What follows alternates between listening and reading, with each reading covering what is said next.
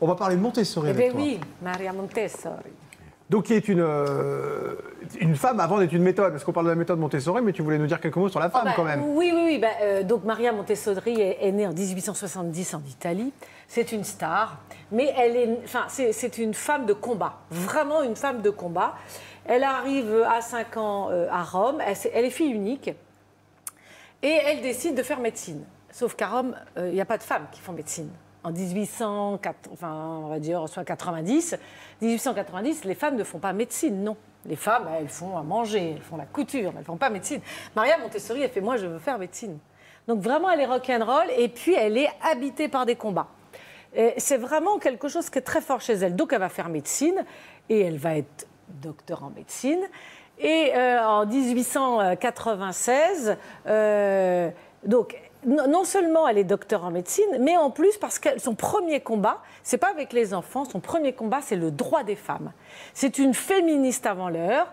Et, euh, et elle se bat pour le droit des femmes. D'ailleurs, elle le voit bien qu'elle veut faire médecine, elle peut pas. Donc elle s'est battue, elle a réussi. Et donc elle va à Berlin, euh, l'année où elle, a son doctorat, elle va à Berlin pour représenter les femmes.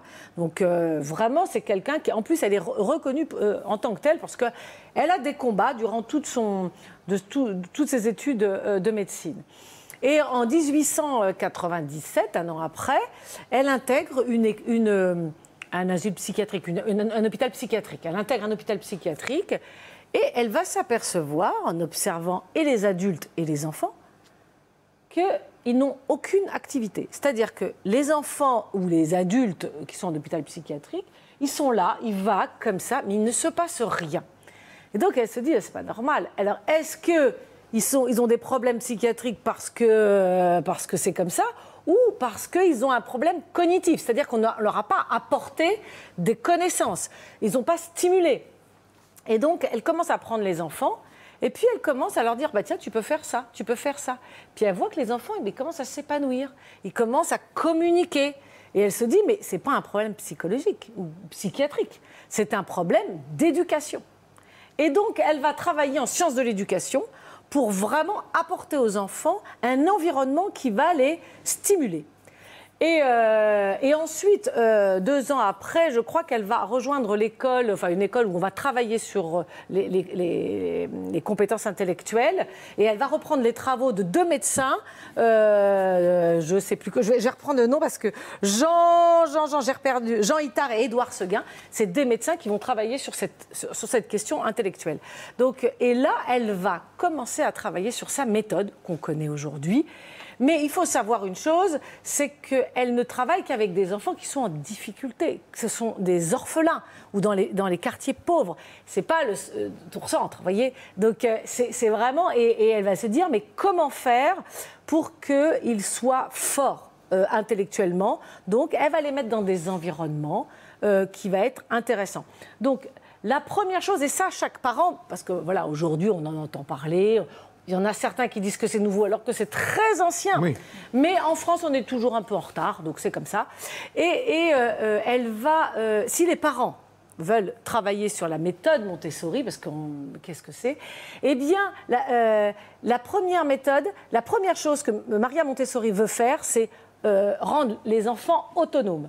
Donc la première chose, c'est rendre les enfants autonomes. Ce qu'elle dit, c'est que si vous aidez votre enfant alors qu'il n'en a, il a pas besoin, c'est que vous lui posez un problème. Donc il faut les rendre autonomes, les regarder évoluer. Ça, c'est la première chose. La deuxième chose, c'est euh, euh, euh, comment les mettre dans une situation de, capacité de concentration.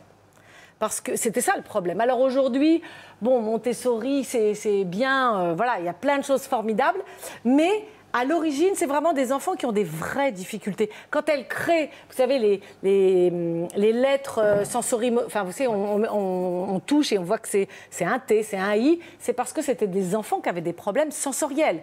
Soit ils étaient aveugles, soit... Enfin, voilà. Donc vraiment, elle a travaillé avec des enfants qui avaient des difficultés. Aujourd'hui, euh, la méthode Montessori, c'est une méthode d'apprentissage.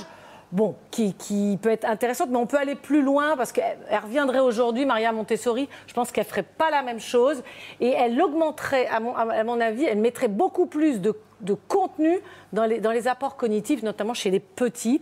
Euh, donc, un, si vous voulez avoir euh, la méthode Montessori, l'enfant doit être autonome et la concentration. Donc, pas d'écran, hein, s'il vous plaît. Elle noté. revient, Maria Montessori, ce serait une Bien année, les écrans. Bon, ben, ça marche. Merci, Marie-Ange, de nous avoir en tout cas rappelé qui était cette femme au-delà de cette méthode Montessori. C'est évidemment une femme euh, importante qui était Oui. euh, derrière. Merci.